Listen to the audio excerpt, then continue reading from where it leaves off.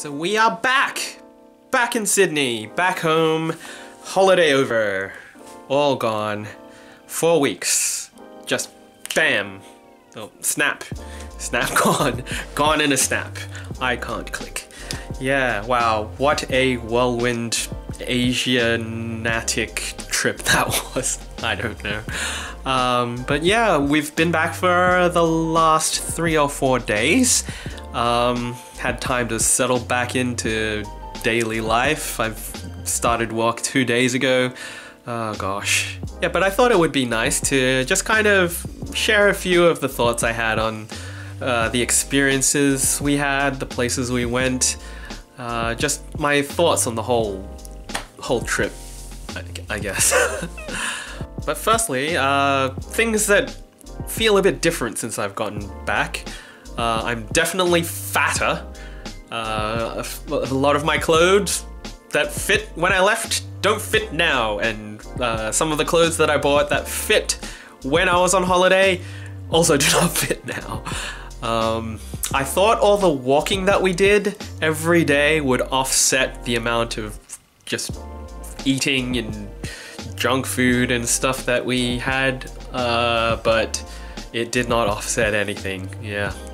Uh, I think you need to do more than just like 10 kilometers of walking every day, which I think we did. On average, 10 to 15 kilometers worth of walking.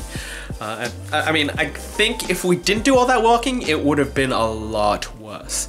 But yeah, uh, especially in, actually, I was gonna say, I was gonna narrow it down to one country, but I think every country, Korea, Singapore, Malaysia, Shanghai, we did so much walking. I think by the time we were in Shanghai, the last few days were just like, we were so tired, we our feet just kind of like gave up like within one hour of getting up and starting walking around. It was, yeah, we just needed to rest like every other hour. We had to find a cafe, get a coffee or a drink or something so we have an excuse to sit down. But yeah, um, that probably also contributed to the fattening. Oh, yeah. So uh, I'm gonna have to do something about that now that we're back. I mean, we say that now. I think everyone says that after a trip, but uh, we're pretty serious. Uh, we already agreed that we're gonna buckle down and, you know, exercise, eat right. Also, I am a lot darker. I have a very, I'm not sure if it's a very noticeable tan or just a, a regular tan, but yeah, I'm, I'm a lot darker. But, uh, you know, we're heading into winter now. Not much sun. I'm in an office all day, uh, away from the sun. Uh, I'll probably palen up. I don't, I don't know. I don't like it when I'm tanned. Yeah, I, I kind of want to like lose the tan a little, and that will happen within time. Anyway, just some other kind of general thoughts about the trip. I mean, everywhere we went, the food was I don't I don't think we had one bad meal while we were on holiday. Uh, I'm I'm trying to think very hard, but no. Like everything was at the very least above average. And uh, I think that's also what contributed to the fattening. Staying in Myeongdong was dangerous. There, uh, there was so much good street food around. Uh, a lot of restaurants. I mean, I think a lot of the stuff around there was catered to tourists, obviously, but you know, it was still really good. And we did venture out into Seoul and had some nice meals at other places as well. But yeah, it was it was really good there. Um, one thing that happened was I, I got a lot of constipation. I think it was possibly from the uh, fried cheese uh, street food because uh, every time I ate that, every night I had that, I wouldn't be able to poo, and uh, that was that was not pleasant at all. Uh, uh, I'm I'm gonna do a video, a whole video on the street food that we ate, just listing them all, and I, I've got like video of all the pretty much all the the street food we ate, and my gosh, I wish the, street food in Myeongdong there was like just such a wide variety of stuff there, and. Uh, it was just so simple. It wasn't just it wasn't like trying to be too fancy or anything. There was like just, you know, fish cake soup or like sausage. Just all different kinds of of street food there. Anyway, I'll cover that in a whole other video. I mean, uh, I'm probably gonna put this video up before all those other ones. I've got, uh, I took so much video when uh, I was over there. I didn't take many photos, but like I recorded with my uh, phone the whole time. But anyway, back to the food. Yes. Um, so Seoul, uh, we had a lot of different traditional dishes. We had like ginseng chicken, uh, bibimbap, all, all the standard kind of Korean stuff. But you know, it's in Korea. It's like genuine, authentic stuff or whatever. But um, yeah, that, that was really nice. Well, let's just move on to Jeju now. Jeju, we didn't actually eat that many like restaurant sitting down meals. Uh, we were on tour for two days. The meals were taken care of, lunches at least. Those were pretty good. Uh, one day we had the famous black pork from Jeju, and then another day we had this really, really nice buffet. Um, just like 10 kinds of like Korean meat there. It was just like heaven for me because like I like meat. Um, but other than that, um, I don't really recall actually going to too many restaurants. Uh, I think we had Korean fried chicken one time. Oh, and another time we had, uh, we went into a, um, it was like a, a, restaurant, but it was like, it was kind of empty. Uh, and we had like crab, and then it turned out to be $200. Uh, like 200 Australian dollars. Uh, it was, it was like the best crab that we ever had though. But uh, we didn't really expect to like just have like a very impromptu meal at a really expensive place to eat. But that was really nice.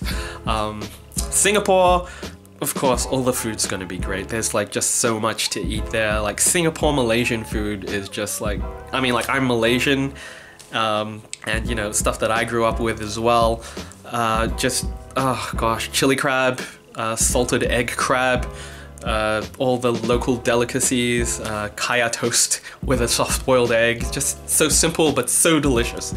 Uh, the local coffee, iced coffee and iced tea, teh tarik, uh, all very, very delicious. Um, and then uh, Shang, Shanghai as well.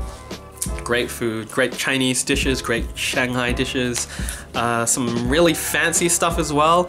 Um, I'm pretty much going to cover this in all the little videos that I'm going to be posting after this. Um, food, yes, great food in Asia. Asians know how to eat. Then there was the shopping. Of course, the shopping. Uh, Korea. We were in Myeongdong. That's pretty much just all you do in Myeongdong when you when you're in that area. We were like just sleeping right above like hundreds of shops. Uh, Tian was so excited to be able to get so much Korean cosmetics because from what I understand they're they're very good quality. Um, but there was a lot of like clothes and stuff as well. I, I pretty much whenever I go on holiday uh, I buy the next year's worth of outfits t-shirts pants whatever and I just wear them and I don't really buy much locally because I don't know, I, am just not a fan of the stuff we have here in Sydney and Australia. But yeah, in short, we bought a lot of clothes. Yeah, a lot of clothes. Tian bought a lot of cosmetics. Um, and I bought a lot of random shit. Like heaps of random crap. I bought a whole lot of hats. I bought a lot of like little line friends toys and stuff like that. Um, yeah, a lot of useless crap. But you know, that's what we do when we go on holiday. Like, I think it, possibly an Asian thing. We like to eat, we like to shop. We're very materialistic. And uh, I especially, I, I, like to spend a lot of money. And I did, I spent a lot of money. Probably more money than I had to actually spend. And now I have to kind of really tighten the belt now I'm here, which also works in my favor because I can't actually buy lunches anymore.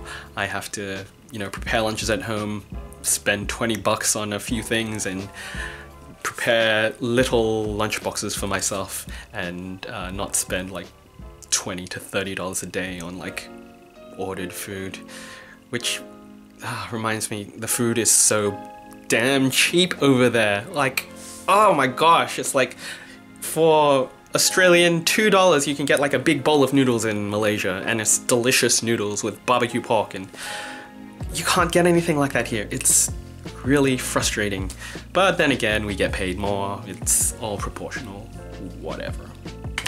Sightseeing, yes. Um, we did get to do a lot of that as well.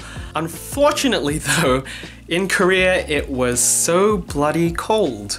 We did not expect this. It's May. Uh, it's supposed to be spring, but it was single digits cold there. Single digits Celsius, which is like I don't know negative Fahrenheit or something. I do not know how that temperature system works, but yeah, it was like seven degrees like on average every day. So it was kind of hard to go to some places because we didn't bring jackets or anything.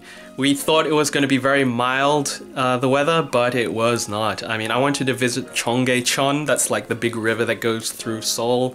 It's really pretty at night, but it was like almost freezing temperatures, and we forced ourselves to go there one night. Um, but no, we couldn't. I mean, think, I think there was only one day where we could just safely wear t-shirts out. That was like the second day we were there, and we thought, oh, this is gonna be nice weather, but no, it was not very like warm at all. Yeah.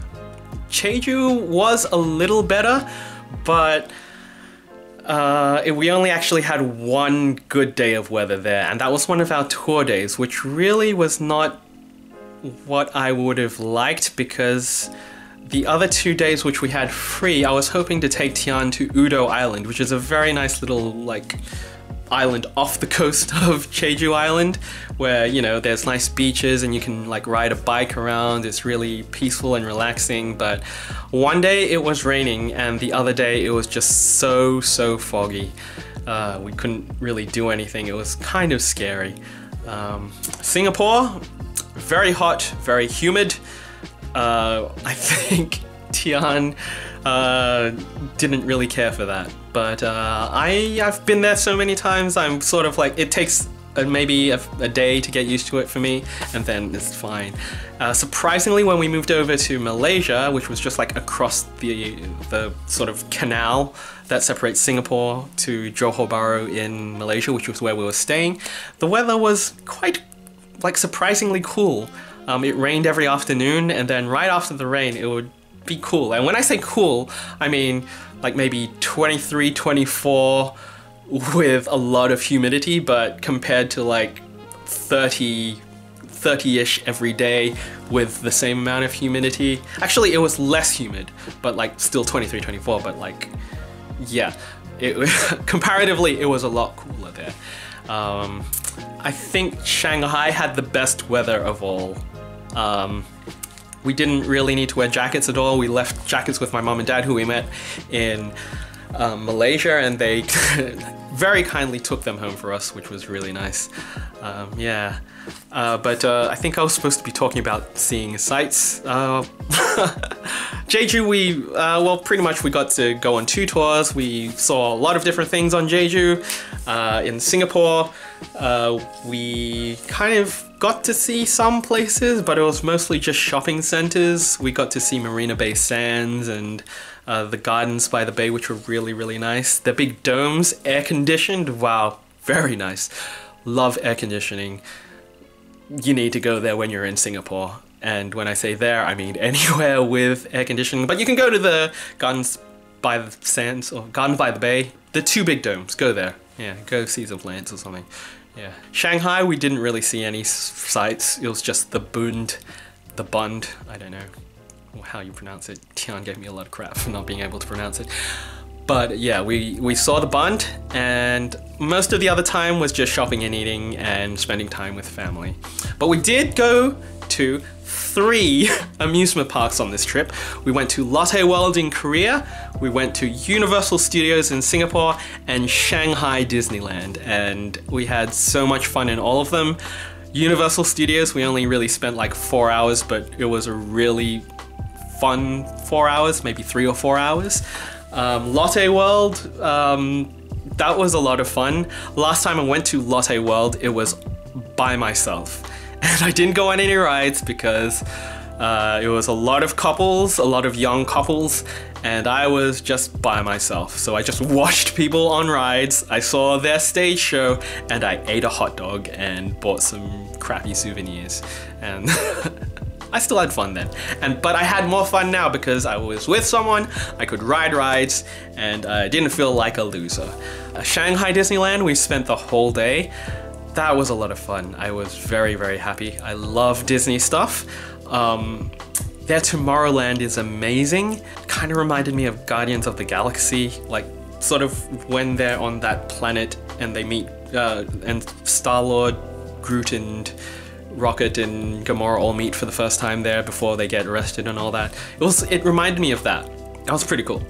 So that's kind of it for sights and stuff. I don't know.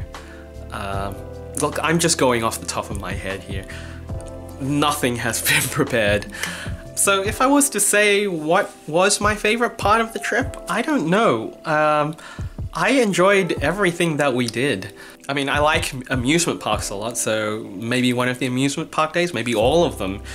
Uh, but I don't think there wasn't really any, there weren't many actually dull moments. I think there were a few moments where we didn't know what to do and we were just kind of like walking around aimlessly um, here and there, but uh, it wasn't too bad. It wasn't too bad in the end. Um, and um, my god, I think I already said this, it the time flew towards the end. I mean, at the beginning of a trip, you feel like, you know, I've got all the time in the world. One month, that's such a long time. I'm, we're gonna just like take our time, do whatever. Uh, we can relax, be happy, and you know, you're aware of it. You're in the moment more than you are towards the end. I felt like I was not so much in the moment and just kind of thinking, oh no, this is all gonna end soon, this is all gonna end soon. I mean, I have a litmus test for myself as to whether how awake I am. I kind of look at my hand and if I can make a connection between what I'm seeing and my hand doing this, that means I'm okay. I usually do that when I'm like either super drunk or when I'm super tired and uh, it kind of I can kind of tell if I'm either of those things. And I did that a couple of times towards the end of the trip and I wasn't tired or drunk or anything, but I couldn't make that connection. It was like I was sort of drifting in a dream anyway. Uh, in conclusion, I guess, um, I'm, I'm really happy with the trip. Um, it was relaxing, it was invigorating, you know, connecting with my my new wife and just, you know, spending some much needed time together and enjoying each other's company, all that kind of stuff. um, I think the, one of the most important things that I was hoping to get out of this is to feel invigorated creatively and the way I did that was by making a lot of videos. I mean, shooting a lot of videos, which I did with my phone of all things. I brought four, uh, three cameras. I brought this video camera, which I'm recording this on, a still camera, which I've used also before to record video, and I brought a GoPro, and I used none of them. I only used my phone, and um, because right before uh, leaving for the trip, I got this app called like Cyberlink Director, which made which allowed me to cut and um, edit and um, export movies uh, and, um, on my phone. And I thought, hmm, why don't I use this to um, just in not real time, but like as we're on the trip, I'll record our day and then cut it at night and then post it online. And uh, obviously that didn't actually happen. I have got like 25 more days worth of, of footage that I need to cut and put up, but um, that will all eventually come online, but I thought I'd do this one first while uh, it's all still fresh in my mind. And I thought that would be like, you know, a good way to kind of get back into this because it's really easy to do it there. I, I don't really need to like load up Adobe Premiere, copy everything to the computer, then like be on a mouse and like have to sit in like a comfortable position, like set up my laptop on a table to do it all. I can just like, you know, the TV could be on and I could just be doing that or I could be on the plane and doing it. And, and it really, and it worked. I was able to, you know, put about, I think I've only put like five or six videos up uh, but you know, it made me feel like, wow, I'm doing something. It was it was very satisfying. I think before I left, I was very concerned that I'd lost the drive. I wouldn't be able to find it again, and I think I found it again. Uh, whether or not anyone actually watches any of these videos is another thing. Uh, half of the stuff I've put online has barely cracked 10.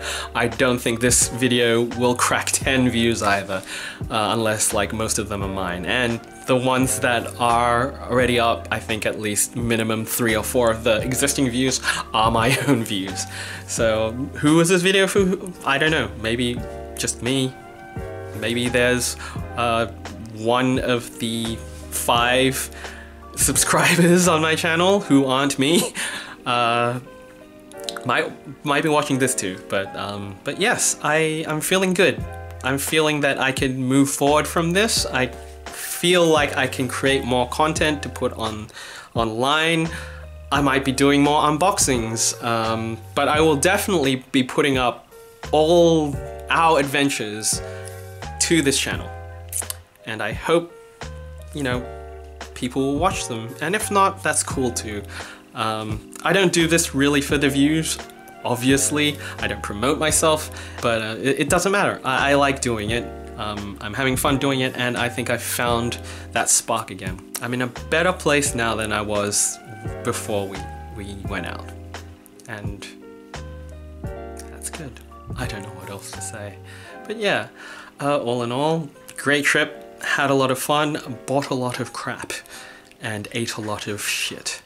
Uh, oh, and Tian's home now, which means I have to stop. Well, I don't need to stop, but I'm gonna stop now because, conveniently, I've said all I need to say. Doing stuff with Jules on YouTube, and don't forget to subscribe. Oh, doing stuff with Jules on YouTube. Come on, stop on by.